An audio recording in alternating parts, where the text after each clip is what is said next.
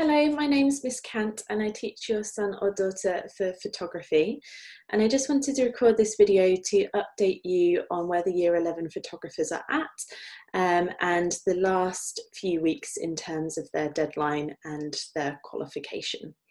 So we're aware that this year has been quite unsettled, uh, with some work being produced in the classroom, but with health and safety restrictions, some opportunities may not have been able to be produced, um, and quite a lot of work being done at home. And I just wanted to reassure you um, that we are aware of that, and we've had guidance uh, from the exam boards about how to mark with that in mind. Um, but before we move on to um, talking about that in more detail, um, I just wanted to say how proud I am of each and every um, Year 11 photographer, of how they've been able to keep working um, throughout this year and how they have shown us real maturity um, throughout the course as well. Um, so I just wanted to reassure you that we will be marking the Year 11 photographers in a um, similar way to previous years. Um, so we have got um, a marking scheme um, where we mark to their strengths. So we are looking for the strengths within their portfolio. We are aware that some um, evidence may be missing due to the lack of opportunities this year, and we will be um, keeping that in mind when we are marking their work. As we move forward to the final deadline in the next few weeks, um, what we are pushing for the students to be doing is to show their skill and the real quality of work. Um, and we'll be producing that in class as well as making sure that um, tasks are being completed at home. So as you can see on the screen at the moment, this is the timeline um, for the coming weeks.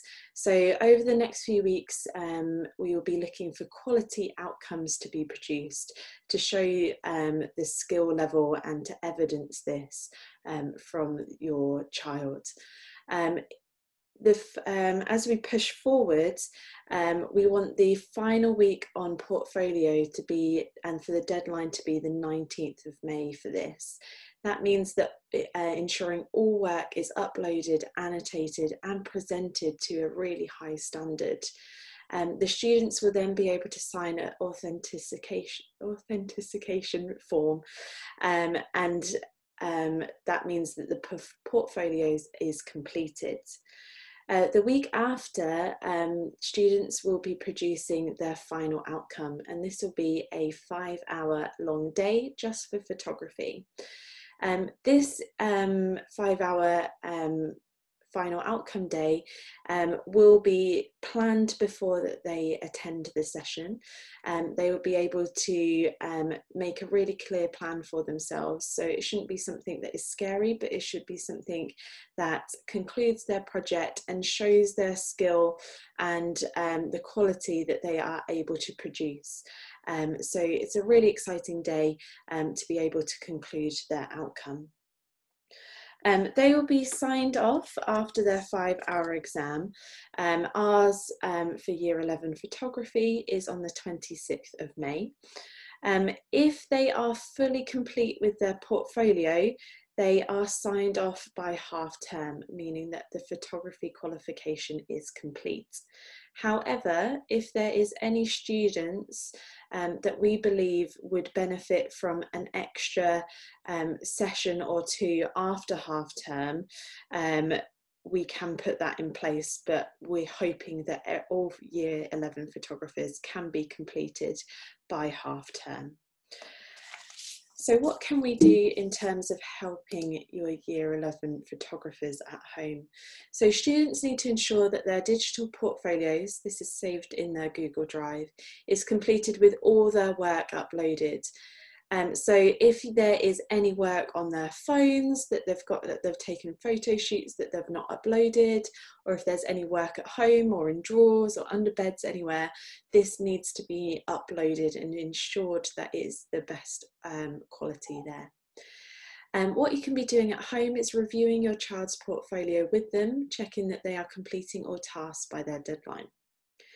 Student need, students need to complete their practical task in lessons to the best of their ability. They need to ensure that they are demonstrating their best skills to show the highest quality of work, which will form part of their evidence. Students need to complete their weekly homework tasks and ensure it is completed by the deadline. This is logged in their portfolio and on class charts. And students need to complete their five hour practical assessment. This work will form part of their evidence that will generate their grade. So in the student portfolio, we've got a, um, a task sheet that looks like this. Um, each week, um, the students will be asked to complete um, a series of tasks um, and the deadline will be on a Thursday each week. It is up to the students to ensure that this is complete um, in their lessons and a hour, a minimum of an hour completed at home per week. Um, it is really important that the students are taking photo shoots outside of um, school. Um, by doing this, it makes their project personal and relevant to them, which is a really important part of the qualification. To just rely on taking photographs in the school um, is not enough. Um, it means that the projects become quite repetitive, um, which isn't ideal. Um, as you can see here, there's um, the photography knowledge organizer. Um, this is on the Google Classrooms um, and this will help with annotations. Um, in photography GCSE, you will need to apply your understanding to your practical and written work. You may all be working on different techniques and skills at different times, so this is a one-stop shop for all your information, ideas and techniques. Um, and these are hyperlinked so that you can um, click on a specific form or element to give you some more guidance on that. Um, and here's some photography knowledge organisers, which gives you a bit more information about different techniques and skills. Um, it is really important to analyse the work um, that is produced in um, photography. It gives um, the marker um, more information about why you've produced the work um, and helps us understand the, the thoughts behind it. Giving a in-depth analysis is a good way to show that understanding in more detail and again this is on the Google Classrooms um, and if you are able to um, support your child at home in any way in terms of um, analysing their work or just nudging them to make sure that they are doing it, um, that would be super helpful. Um, again, there's a few more things here. So um, viewing lists of things that the um, photographers can be watching to give them a wider understanding. Um, and now, um, now the world has opened up a little bit more. Um, going to places to do photo shoots is going to be super helpful. So we're super lucky in Norwich and Norfolk that we've got such a wide range of places to go. Um, so if your child is exploring architecture, they could be going to UEA or the city centre, or um, if they're exploring nature, um, they, obviously we've got sort of Mousehold Heath and and loads of um, places right on our doorstep. So if you are able to take your child um, to a location to do a photo shoot or or um, nudge them to to look at their surroundings and see see that actually UEA is not too far away to to do a photo shoot, that would be extremely helpful. Um, so if you have any further questions, please do not hesitate to get in contact with me. Um, my email address is um, here. As I said, my name is Miss Cant um, and I will answer your questions um, to the best of my ability. Um, I just want to thank you, parents, as well, for all the support you've been giving your child in these unsettling times.